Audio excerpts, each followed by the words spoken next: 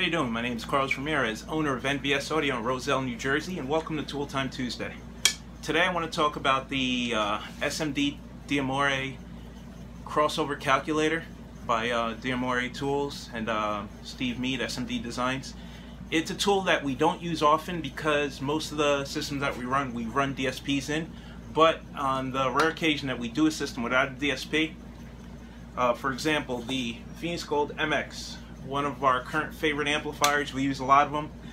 Now the problem is, on most amplifiers, like the Phoenix Gold amplifiers, you have the crossover setting, which is here. So knob says 50 to 250.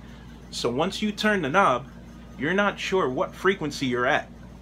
So it could be 51, 57, 86, 92. You can get close, but there's no way to know exactly what frequency you're at. So that's where the crossover calculator comes in. It's a really nice tool. So you set it up, you have your head unit output, it comes with a setup CD, you pick the track that you want. For this example, we're going to be using a 100 hertz high pass. So you set the filters on the amplifier and on the radio to off. This one you can't turn off the high pass filter, so you want to turn it all the way up to 250, 300, I'm sorry, you want to turn it all the way down to 40 hertz, which is the lowest it'll go. So we're going to set our high pass to 100, so we set it at 40, which is basically off. So then we set the CD, we set it to track 18, which is 100 hertz. We set it on repeat. Now the way it works is you power on the D'Amore unit, increase the volume of the head unit until the D'Amore unit detects signal. Once it detects signal, you stop. You hit the button on the unit that lets it know this is the signal that I want you to match, 100 hertz. So then you go to the gain side of the amplifier and you, I'm sorry, you go to the crossover side of the amplifier. Since we started at 40 hertz, you bring it up slowly. There's three LEDs. There's a blue one in the center, there's a orange one on the bottom when you're under the frequency, and then there's orange one on top if you gone past the frequency. So you turn the dial till it turns blue. If you go past, the light above the blue will turn orange. You dial it back down, if it'll light up blue again. If you go below the orange, the light below the blue. Once just the blue light is eliminated, you are dead at 100 hertz which is where you want to be. Super simple to use, very useful tool, especially in high power applications. So if you're off by 20 or 30% on your crossover and you're running low power, it's no big deal.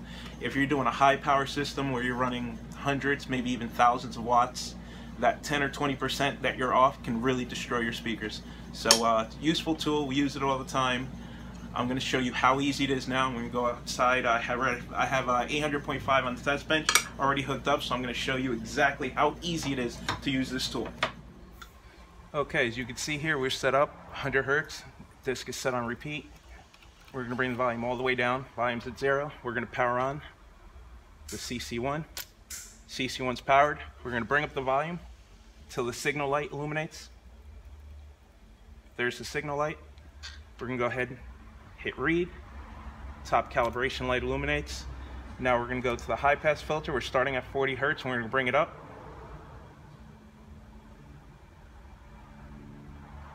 There's the bottom light.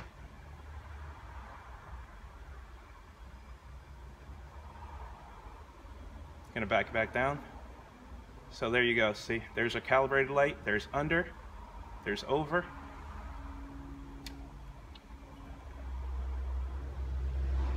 Perfectly calibrated. So as you can see, the blue light is illuminated. I'm gonna go ahead and change it for you. It's over, under, perfectly calibrated. Super simple, dead on 100 hertz exactly. Hopefully this was useful to you. See you next week.